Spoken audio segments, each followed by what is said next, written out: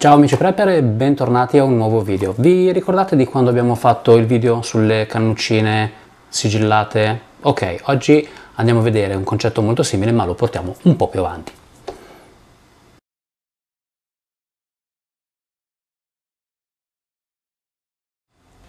Allora, abbiamo parlato in uno degli scorsi video della differenza fra i sistemi da ripiego, quelli improvvisati e invece le cose fatte un pochino meglio. Ok, uh, dopo aver fatto il video sulle cannucce sigillate ho fatto un paio di prove e ehm, sono arrivato alla conclusione che questo sistema qui va bene fino a un certo punto, non è esattamente un sistema ottimale. Perché? Fondamentalmente per mm, dei motivi molto semplici. Allora, innanzitutto eh, la quantità di materiale che riusciamo ad andare a mettere nelle cannuccine è molto poca, eh, per, ovviamente per questioni di spazio e di sezione della, della cannuccia. La chiusura ogni tanto mm, sinceramente non è così mm, automatico che venga fatta bene cosa succede quando vogliamo portarci via qualcosa di un attimino un po' più eh, ingombrante o comunque di più sostanzioso come quantità che o cominciamo a prendere delle cannucce molto più lunghe o cominciamo a impazzire a cercare delle cannucce che abbiano un diametro maggiore insomma è un sistema che va bene però è un po' improvvisato e quindi arriva fino a un certo punto, ha i suoi limiti come tutto. Allora ho provato a cercare un modo per cercare di superare questi limiti e il sistema che ho trovato è quello di affidarsi a uno strumento come questo. È un sigilla sacchetti di quelli che vengono abitualmente utilizzati nelle mm, rosticcerie, tavole calde, comunque posti dove tendenzialmente si va poi a confezionare il cibo, comunque cercare di fare delle chiusure ermetiche, non necessariamente sottovuoto. C'è anche la versione con il sottovuoto, ma questo fa soltanto la chiusura.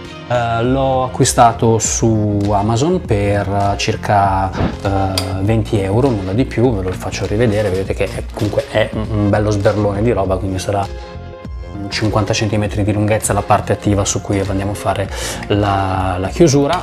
Cos'è come composto? Allora abbiamo una superficie qua sotto che è fatta in materiale che resiste al caldo e che non, ehm, non si deforma e qua sopra, non so se riuscite a vedere, c'è la parte invece con la resistenza. Um, il funzionamento è banale, basta mettere il sacchetto di traverso sulla, sulla prima superficie, chiudere, aspettare aspettare, sentire il momento in cui il circuito stacca la corrente, basta, la sigillatura è fatta. Um, possiamo utilizzare questo strumento con i sacchetti del sottovuoto, i sacchetti del frigorifero per il gelo e tutta un'altra serie di sacchetti normali, quindi abbiamo già a disposizione fin troppo materiale da utilizzare per fare questi questo tipo di chiusure e per cosa le possiamo utilizzare? Vi faccio vedere soltanto un esempio fra tanti allora di come ad esempio ho fatto questa bustina di caffè solubile ok? È venuto fuori qualche tempo fa sul forum un, un, un thread sulle monoporzioni come se non può essere utile portarsene via. Ok d'accordo. I monoporzioni di zucchero li troviamo in tutti i bar quelli di olio si fa un po' più fatica a trovarli e invece quelli di caffè è praticamente difficile a meno che non si vada in qualche negozio un po' specializzato. O soprattutto comunque costerebbero molto di più. Mentre invece farseli da sé il costo è praticamente irrisorio. Un sacchettino di plastica del congelatore quasi riciclato eh, quantitativo esiguo che può bastare per un paio di, di, tazze e abbiamo fatto. Ma può essere utilizzato per un sacco di altre cose ad esempio vogliamo mettere un cambio di biancheria nella bob ed essere sicuro che comunque qualsiasi cosa succeda rimanga eh, assolutamente asciutto conviene metterlo quindi all'interno di un sacchetto di plastica e sigillarlo in questo modo qui. Lo stesso ovviamente vale per tutte le altre cose a cui vogliamo creare questa specie di um, confezionamento fai da te. Okay? Quindi i vantaggi immediati sono una chiusura fatta bene, um, poi ogni sacchetto a seconda del tipo di plastica con cui è fatto può avere delle rese diverse, quindi fate un po' di esperimenti e valutate voi quale conviene utilizzare. Comunque dicevamo, chiusura fatta bene, dimensioni che possiamo scegliere noi, giusto per darvi un'idea, questo viene da un sacchetto di quelli di grande dimensione, quindi tagliandolo prima in verticale e poi in orizzontale c'è la possibilità di farsi delle bustine della dimensione che ci serve a seconda di quello che abbiamo bisogno. Oltre che per queste cose eh, potremo andare a utilizzare questa macchina anche normalmente per l'utilizzo che faremo in cucina, quindi abbiamo aperto un pacco di pasta e vogliamo richiuderlo magari prima delle vacanze per evitare che si formino le farfalline e via dicendo, tac, tutto questo strumento può venirci utile anche assolutamente in questo caso. Comunque, al di là di tutte queste descrizioni, vi faccio vedere molto brevemente come può funzionare e come può venirci comodo in una dimostrazione pratica di qualche secondo.